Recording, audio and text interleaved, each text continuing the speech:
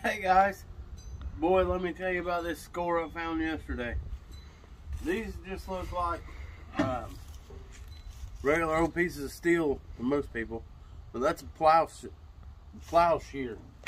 Um, a friend of mine called me, and his, unfortunately, his uh, family member had passed away, and they were cleaning out the old barn. Them were hanging on the wall. They was gonna haul them to scrap them things fifty dollars a piece. Uh, so it just goes to show that there's a lot of parts, good parts that go to the scrapyard because people don't know what they are. But th- yeah, I've got enough plow points for the rest of my life probably.